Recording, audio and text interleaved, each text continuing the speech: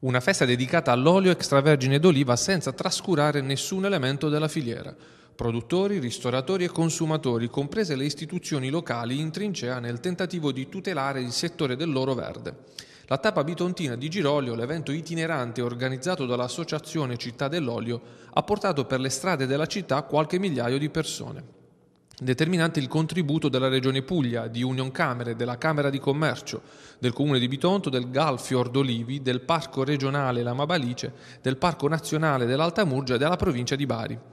Per due giorni la città è stata lo scenario di show cooking, visite e degustazioni nei cortili dei palazzi storici, corsi sull'olio per adulti e bambini, tavole rotonde, musica folk. Ad aprire le manifestazioni sul tema in realtà è stato già da venerdì Mad Diet,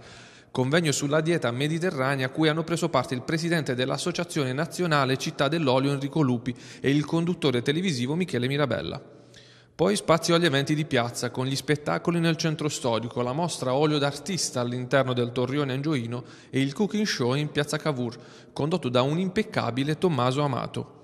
Sul palco, allestito all'ombra della chiesa di San Gaetano, si sono alternati chef di caratura nazionale, come il team manager della nazionale italiana cuochi Daniele Caldarulo, ma anche giovani promesse del settore, giornalisti e food blogger e semplici massaie. Eh, oggi diciamo che lo show cooking lo troviamo un po' dappertutto, basta che giriamo nei centri commerciali, nelle piazze, questo perché comunque insomma la tv ha fatto il suo gioco, lo vediamo un po' con tutti i grandi programmi tv da Masterchef, Hell's Kitchen, la prova del cuoco, quindi insomma è solo che ho, ho, tante preoccupazioni in merito, perché adesso si sta sfruttando sin troppo la figura dello chef, cosa che secondo me dal punto di vista tecnico forse magari tempo un anno o due e sparirà questa figura e magari ne, ne uscirà un'altra, quindi non so fino a che punto possa giovare, però adesso ci godiamo il momento. Dai. Un artista che è un cuoco. Beh adesso sì, adesso sì, eh, calcola che mh, oggi non basta solo saper cucinare, ci vuole anche tanta creatività perché è importante comunque degustare i piatti prima con gli occhi e poi con la bocca, eh, perché un piatto deve risultare, deve essere invitante.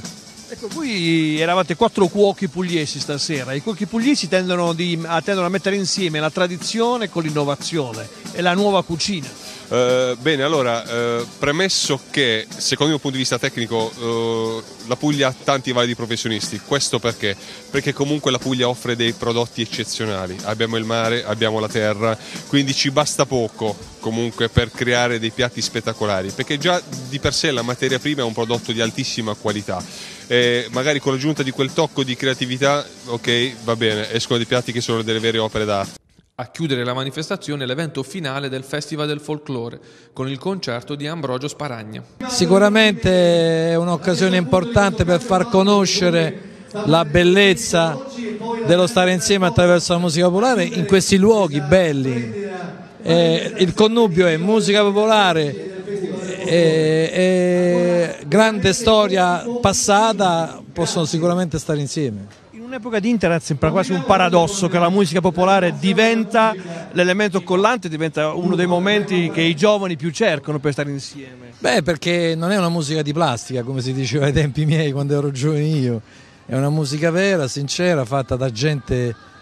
che, che vive l'esperienza proprio dello stare insieme, come stiamo vedendo qui, ragazzi che ballano, che stanno insieme.